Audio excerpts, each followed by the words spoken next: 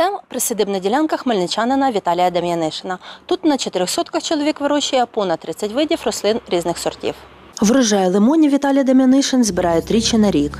Це лимон сорту Павловський. Я його колись придбав на ярмарці. Він вкорінений, тобто це сортовий, це не з кісточки. З кісточки лимон він починає родити десь через 10-15 років після посадки. За словами Віталія Дем'янишина, він з дитинства цікавився садівництвом. Щоб поглибити свої знання, закінчив університет за спеціальністю плодоовочівництво і виноградарство. Як розповів Віталій, він вже 10 років експериментує на своїй присадибній ділянці, вирощуючи різні види рослин. Інжиро має три сорти. Якщо морози свише 10 градусів, то вона не буде родити.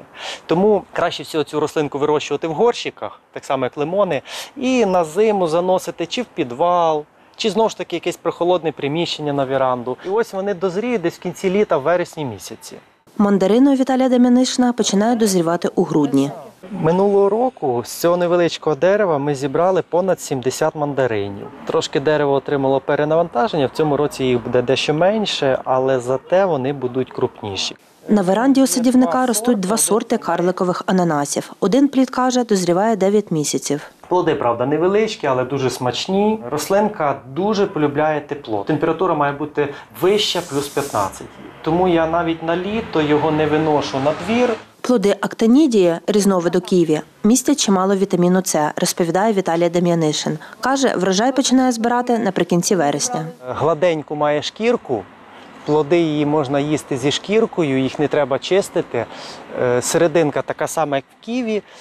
Е, Коли дозріває, дуже смачна, солодка. Обов'язково, щоб вона нормально могла рости і розвиватись, потрібна опора. Ці актинідії приблизно 6 років. У мене тут їх 4 різних сорти. За словами Віталія, уже на начес із ранніх сортів. Вже давно вивели гарні сорта, які і крупні, і безколючкові, і вони смачні. Коли дозрівають, вона реально солодка. Ось можу показати навіть розмір, і це ще не самі великі ягоди. На одному зі своїх персиків Віталій щепив сім різних сортів. За рахунок цього можна їсти персики навіть з одного дерева до двох місяців. Це дуже зручно. От, наприклад, самий ранній перший сорт, мостицький надранній, ми його вже з'їли фактично. От ще один є персичок, він вже стиглий. Е, наступний сорт буде дозрівати десь через тиждень, може чуть більше. Ось там от він є, лісостеповий.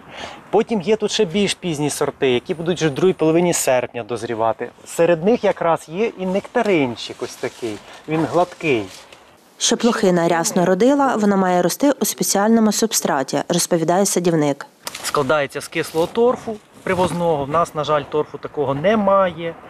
Е, Туди додається мульча, можна хвойний опад додати, кора додається. І от в такому субстраті лохина буде добре рости. Він має бути легкий, такий повітряний. Тобто в суглинкові в чорноземі вона ніколи не буде, як би ви не підкисляли. У теплиці Віталій Дем'янишин вирощує дині та кавуни.